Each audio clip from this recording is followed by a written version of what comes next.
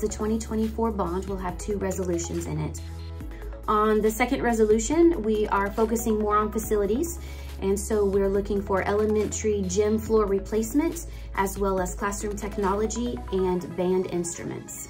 Technology is one, it's a constant um, change. We, we, need to be on top of that. It's a never ending cycle um, because we will have technology that uh, quickly becomes outdated. So we need to stay on top of that so that we can introduce the most efficient and the most um, reliable technology that's gonna be out in the workforce. The elementary gym floor is the original floor.